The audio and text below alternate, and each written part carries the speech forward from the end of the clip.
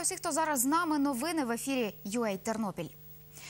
Сьогодні близько 8.40 у Чорткові на вулиці Шевченка вітер зірвав 500 квадратних метрів даху готелю. Повідомив речник пожежно-рятувальної служби Тернопільщини Сергій Данілін. Ніхто не травмувався. На місці працювали працівники пожежно-рятувальної служби і техногенна комісія, в яку входять представники Чортківської міськради та райадміністрації, каже заступник Чортківського міського голови Олег Недокус.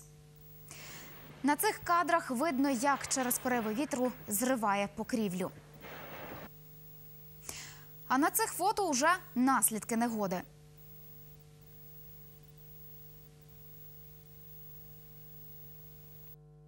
розкрило повністю дах. Ми зразу вийшли комісію, оглянули на один з один скликали техногенну комісію, які обговорили це питання. Зараз працює підрядна фірма, яка займається дахами, і яка нам скаже суму наскільки зроблено збитків. Це приміщення можна сказати на 50% є комунальною власністю. 50% це вже викуплено підприємцями. Надальше завтра ще буде раз техногенна комісія скликатися. Ми вже тоді будемо мати суму відшкодування і тоді будемо приймати певні рішення. І про інші наслідки негоди в області розповів речник пожежно-рятувальної служби Сергій Данілін. На території області найбільше постраждали Чортківський, Бучацький, Заліщицький райони. Також е, пошкодження будівель зафіксовано в Теребовлянському та Підволочиському районі. Крім цього, е, постраждала будівля Підволочиської центральної районної клінічної лікарні. Е, в селі Ілавче Теребовлянського району внаслідок пориви вітру пошкоджено купол церкви. А також в місті Борщів від негоди постраждала будівля 8-ї державної пожежно-рятувальної частини. По всіх постраждалих районах наразі засідають місцеві комісії з питань техногенно-екологічної безпеки, на яких підсумовуються збитки, завдані негодою, а також відпрацьовується алгоритм подальших дій щодо ліквідації її наслідків. Сергій Данілін повідомив, що інформація про наслідки негоди продовжує надходити до працівників пожежно-рятувальної служби. На Тернопільщині на 10-ту годину каже синоптик обласного гідрометеоцентру Оксана Софінська. Максимальну швидкість вітру зафіксували у Кременці 28 метрів за секунду. Це небезпечне стихійне метеорологічне явище другого рівня.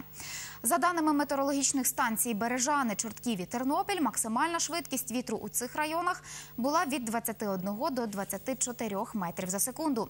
Це небезпечне метеорологічне явище першого рівня.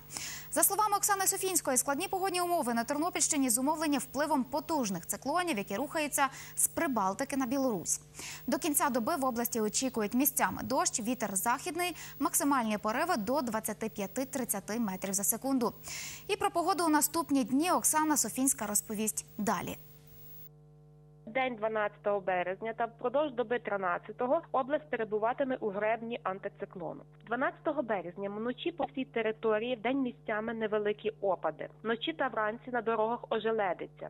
Вітер північно-західний 7-12 метрів за секунду, в день пориви 15-20 метрів за секунду. Температурні показники вночі коливатимуться від 3 градусів морозу до 2 градусів тепла. Денні становитимуть 1-6 градус тепла. 13 березня без істотних опадів. Вітер південно-західний 7-12 метрів за секунду. Вночі і вранці на дорогах ожеледиться. Температурні показники нічні знижуватимуться до 0,5 градусів морозу. Денні будуть в межах від 2 до 7 градусів тепла. 14 березня. Територія області перебуватиме під впливом циклону, що рухається по півдні Скандинавії на схід. Невеликі опади, вночі та вранці на дорогах ожеледиться, вітер південний 7-12 метрів за секунду. Температури повітря вночі коливатимуться від 1 градуса морозу до 4 градусів тепла. Денні будуть в межах від 3 до 8 градусів тепла.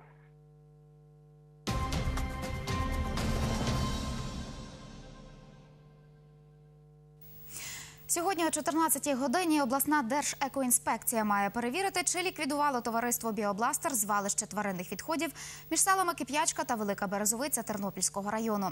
Там будуть наші кореспонденти. Про результат перевірки розповімо о 17-й годині або переглядайте новину на сторінці у Facebook UA Тернопіль. Припис про те, що біобластер має вивести тваринні відходи з території між Кип'ячкою і Великою Березовицею до 11 березня в обласній держекоінспекції винесли 4 березня.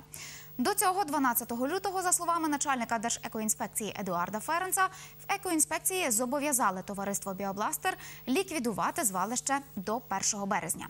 А це кадри зроблені 14 лютого. У цей день винесли припис у Держпродспоживслужбі області, згідно з яким Біобластер мало ліквідувати це звалище до 4 березня.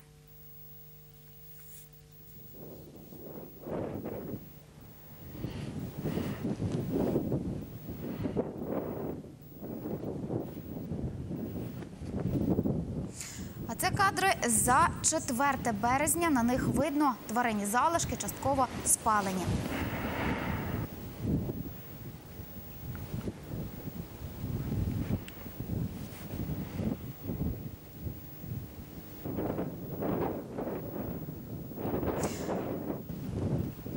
Директора товариства наклали штраф у розмірі понад 104 тисячі гривень. Повідомила прес-секретар обласного управління Держпродспоживслужби Наталя Грисько. 19 лютого товариство Біобластер мало укласти договір із Шепетівською філією Укрветсанзаводу про переробку тваринних залишків. За словами радника директора товариства Біобластер Василя Воробця, договір уклали з іншою хмельницькою філією Укрветсанзаводу. Більше про це о 17-й годині. І дивіться на нашій сторінці у Фейсбук Тернопіль.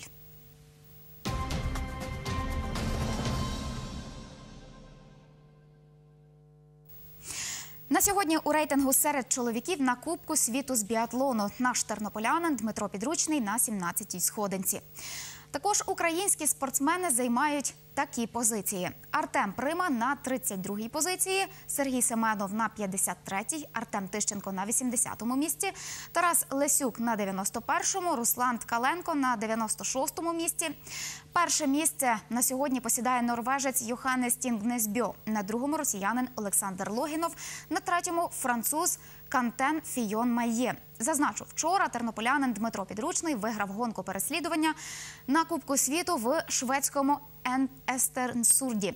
27-річний спортсмен показав результат 31 хвилина і 54 секунди. Другим став норвежець Йоханнес Тінгнесбьо. Він відстав на 8,3 секунди. І третє місце зайняв француз Кантен Фійон Майє. Відстав на 17,7 секунди. Я знав, що сьогодні складна погода і на стійці буде все рішатися. Тому коли після першої стійки вийшов другий і кричав, що там група йде, я розумів, що на останній стрільбі буде все вирішуватися і треба відпрацювати чисто і швидко, щоб боротися хоча б за призові місця. Але пощастило, що суперники багато помилялися і це зіграло мені на руку. Розпочинав тренуватися Дмитро Підручний на лижній базі у селі Острів на Тернопільщині. Розповідає його перший тренер Олег Бунт. Його батьки майстри спорту з лижних гонок. Вони е, батько з Березовиці, мама з острова. Тренувалися в мене колись. Мама дуже багато вигравала Україну, показувала досить нормальний результат. Живуть вони в острові недалеко. Там і той ліс, та лижна база острівська, яка дає, дає плоди. Микола Петрович Панасюк на тій острівській базі можна сказати, що знайшов. І Діма дійсно зразу почав показувати досить прилічені результати. І, і напевно, гени оті батьківські також своє робили. Микола Петрович досить багато уваги йому приділяв в лижних гонках. Таких хлопців, як він, як Діма, там більше в тій групі в нього не було, і він попросив, давай попробуємо ми його в біатлон. І я підхватив його, і так приблизно по таких самих шляхах, як Олену Підручну, в Підгороднє забирав з острова, їхали в Підгороднє, почали стріляти. І саме головне, що десь характер там також є досить такий спортивний, вміє проаналізувати сам. І той результат, то також, крім того, що є, що батьки дали, він дійсно і батько, і мама за нього стоять горою. Ми готуємо матеріал про Дмитра Підручного, про школу, у якій він навчався, базу, на якій він тренувався. І зараз наші кореспонденти спілкуються з рідними спортсмена. Про це дивіться о 19-й годині. І на цьому у мене все. Більше новин о 17-й. З вами зустрінеться моя колега Богдана Сарабун. І щоб знати більше, дивіться нашу сторінку у UA Тернопіль, а також дивіться нас на YouTube каналі UA Тернопіль. До зустрічі.